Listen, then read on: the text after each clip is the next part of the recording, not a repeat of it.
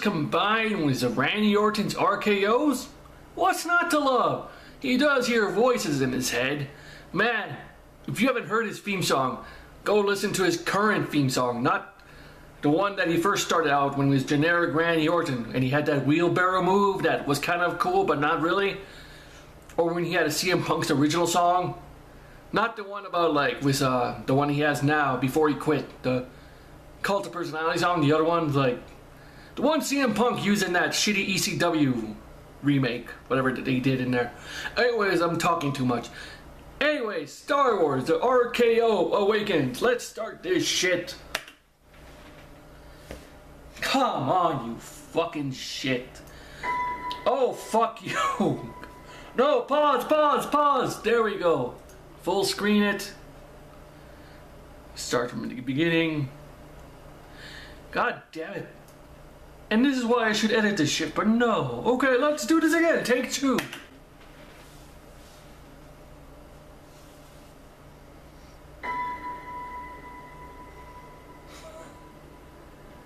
Shia LaBeouf. Who are you? And his name is John Cena. Do do do do.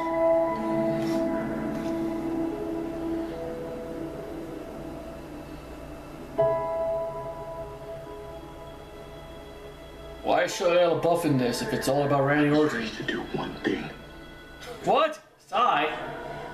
I've got nothing to fight for.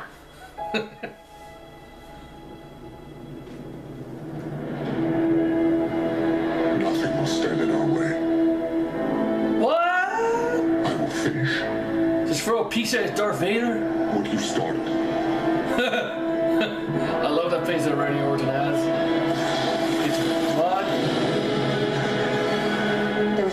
Are stories about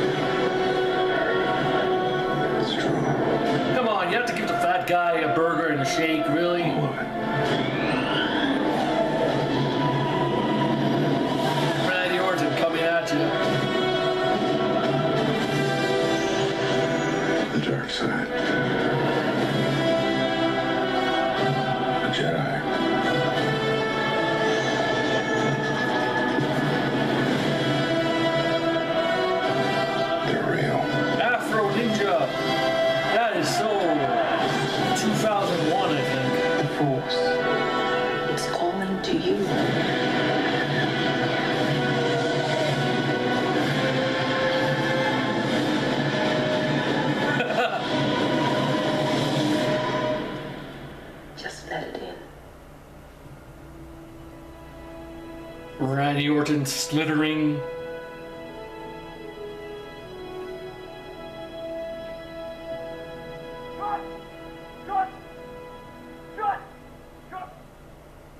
Do it! Can you finish the sentence? No? You're just gonna do it like that?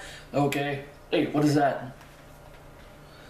Five Randy Orton RKO trailers that will never stop being funny. Huh. I think I saw that one. I don't know, because it has a, a Velociraptor and he's giving him the RKO. Maybe not. But yeah, Randy Orton. These things will never stop being funny, man. It kind of sucks that he's no he's not on TV right now because he's injured.